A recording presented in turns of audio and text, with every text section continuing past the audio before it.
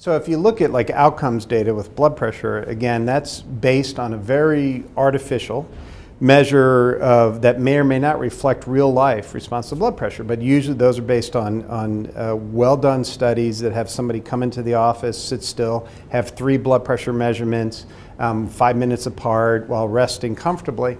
That may have nothing to do with that individual's blood pressure during the day when they're at work or when they're at play.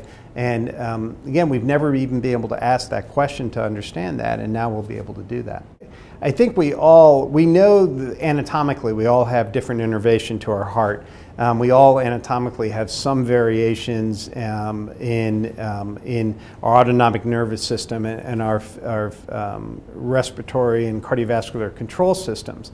We know that uh, we're born with these differences. Um, we also know that we can change those differences over time. So when we're in good shape and exercise every day, when we're not in good shape, um, those change. As we get older, those change. But we don't understand that well enough for the individual. There's enough variation um, over time where we still kind of group everybody in normal vital signs for an adult. And that's so unsatisfying. But that's really the best we can do in the way we measure people's vital signs in that once a year office visit or, or um, that, that setting.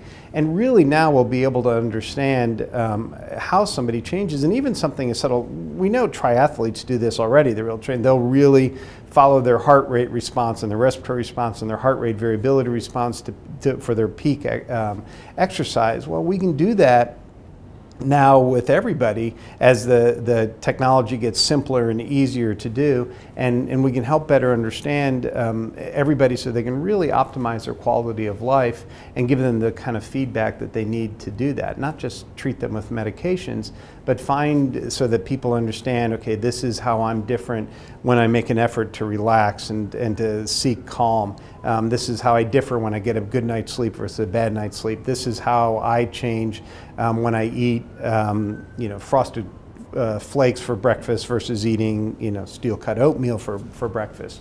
And, and people can understand that for themselves. And, and I, I think, even though there's still challenges that make lifestyle changes based on how they understand and how we understand the, that individual variation in their physiology.